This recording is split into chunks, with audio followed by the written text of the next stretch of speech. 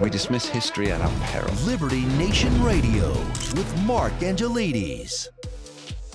Heading into the 2024 election, the two main contenders, current President Joe Biden and former President Donald J. Trump, will likely be touting their records, both on governing their parties, respective parties, and also, most importantly, the economy. So, who wins in that battle of the titans? Well, fortunately, we have with us Mr. Andrew Moran back again to call this fight as the referee. Andrew, thanks for being here. Thank you for having me. So, Andrew, um, I think it depends on which side of the ideological divide one sits to determine what the what your opinion is on who had the who has or had the better economy, Donald Trump or Joe Biden, because it seems to me that cheerleaders for Joe Biden are touting his economic success, whereas people who aren't supporting Joe Biden in the upcoming election they seem to be saying that, well, actually, the, all this economic news is pretty much nonsense. And that's the same situation, but reversed for those who support President Trump, former President Donald Trump. Uh, so, could you cast a bit of uh, light on this? Call the call the blows and strikes for us. Well, I would say first that if you look at many of the polling data, I mean, most of the country is against Bidenomics. They think the country's on the wrong track. But within that yeah. polling data, you see a lot of Democrats also say that the con- the economy is, is on the wrong track. That they don't think Bidenomics is great. Now, if now if you want to assess the Trump economy and the Biden economy, or Trumponomics versus Bidenomics, the best thing to do is just look at the data. You look at the main data that everyone loves looking at, which is GDP, unemployment rate, job creation, and let's say gas prices. Now, recently, uh, the Bureau of Economic Analysis published an in depth comprehensive report that highlights all the data or update all the data from 2018 to 2000, uh, uh, er, uh, uh, I think 2022 or early 2023. Anyway, their conclusion was that the Trump economy was better than reported. The Biden economy to date has been worse than what's been reported. The GDP was higher under uh, uh, uh, under under uh, Trump. Uh, was higher than what the B, Bureau of Economic Analysis reported. Unemployment was better. Job creation was better. And then if you look at the, uh, the American Automobile Association's numbers, gasoline prices were lower. And opposite with, with Biden, uh, job creation has been lower than expected. GDP has been lower than expected. Unemployment has been higher than expected, and of course, gasoline prices have been higher. So it, it seems to me that the the, the pure numbers uh, suggest that it's Trumponomics over Bidenomics. But there's been a lot of spin, and, and this is true on both sides of mm-hmm. the political aisle. You know, when there's a Republican in office, the more right leaning sites that they they tout everything as wonderful and ignore the bad, and that same has come true for now. There's a Democrat in office. Uh, perhaps it's in a little more in overdrive now because there's a certain desperation uh, behind not wanting to have Trump back in office. Uh, and I, I, think perhaps the media has uh, has brought into the idea, and, and it, I think it's a fair assessment that uh, it's the economy stupid when it comes to casting your vote. Uh, but there's been a lot of spin on the the Joe Biden numbers, uh, and we have talked about uh, some of these things in, in recent episodes of Liberty Nation Radio. Um, but I would like to delve into a, a, few more specific points, if I may. So we we hear that Joe Biden is the greatest jobs creating president. Now, my understanding of this is that what they're doing is all of these jobs that were either temporarily well in fact there's two factors isn't there to this um, if i could just put out what i think they are and then you could go into that and maybe correct me if i'm wrong number one is they're counting the the jobs that almost sort of vanished during the COVID lockdown. So they weren't available to be worked, and then they came back once the COVID lockdowns lifted. Uh, so and, and they're counting those as this is because of Joe Biden's policies, which I don't think is a fair one.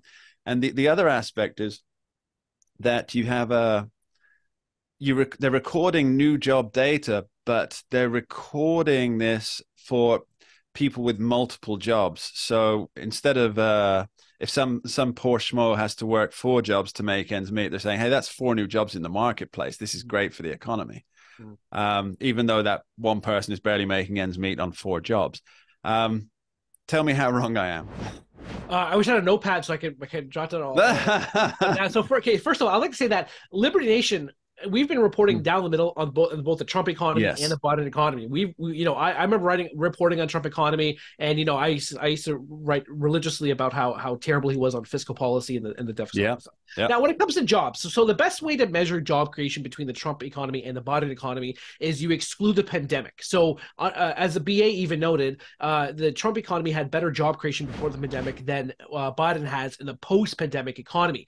He doesn't. Biden does not do that. Biden and his team count specifically from when he entered office to now. And he does that he that's how he gets that 15 million job creation mark. But if you if you exclude the the what i do when i when i report on the body economy is i start from when officially all the jobs were were returned to the us economy. Now there's been some debate on what that that date was. I use august 2022 and if you go from that period onward then you see that biden has overseen about pro, between 4 and 6 million new jobs and not this 15 million. And you don't see also trump losing, you know, six million jobs uh, if you exclude the pandemic. So it's all about uh, the beauty. The beauty of macroeconomic data is that you can you have a certain narrative in mind, and then you try to sift through all the data and try to pinpoint to something. Seeing, see, oh, right there, that actually see, I, my my Bidenomics is absolutely stunning because this particular data point is fantastic. But at the same time, you can also you know prove something that that it, that something is rotten in Denmark. So in the last jobs report,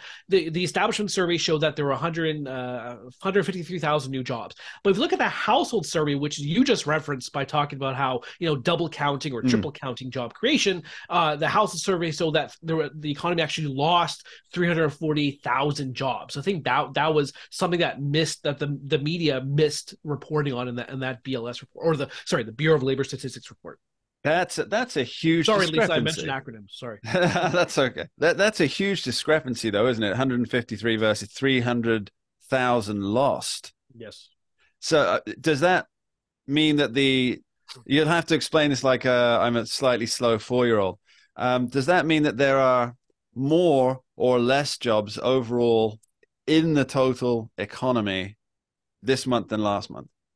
Yeah, so yeah, you're absolutely right. So there is a, a, the net loss in jobs. If you look at the other part of the data uh, of the Bureau of Labor Statistics report, it showed that the number of people working two or more jobs reached a record high in, in October. Mm. So, you know, and also at the same time, this coincided with the recent JOLTS report from the Bureau of Labor Statistics that showed that the number of job openings decreased uh, again, about, uh, I think it was about 300,000 jobs to around 8, 8.7 million job, job, job openings. So all these numbers co- coincide and, and, and connect when it comes to, you know, the 340,000 lost jobs, de- uh, decline in job openings and the number of people working two or more jobs uh, hitting uh, all time highs. If, if I could just come back on a couple of those points, you say yes. Uh, number of people working two jobs record high. That's a bad economic indicator, isn't it?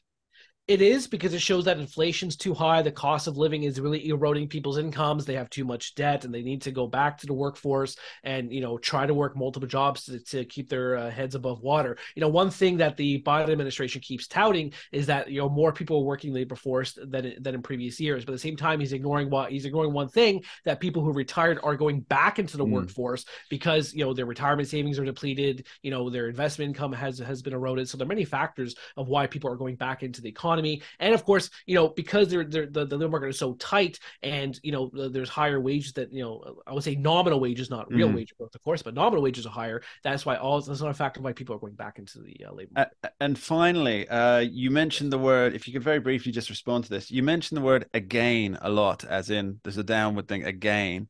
So does this mean that we're actually on a trend towards quite a poor economy when it comes to 2024 election?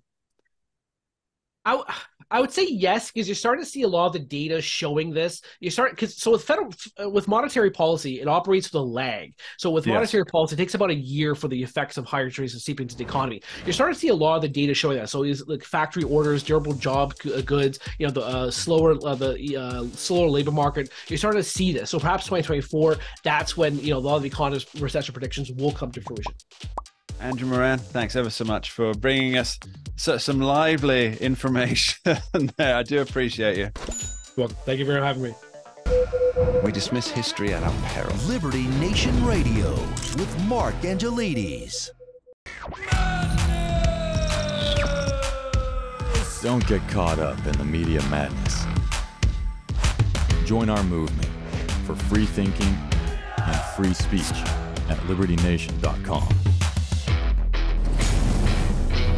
Publishing news and analysis 24 7 with original articles by our team of authors who tell it like it is. Join us each week for online TV shows, The Uprising Podcast, and Liberty Nation Radio. We believe in free thinking and free speech. We are LibertyNation.com.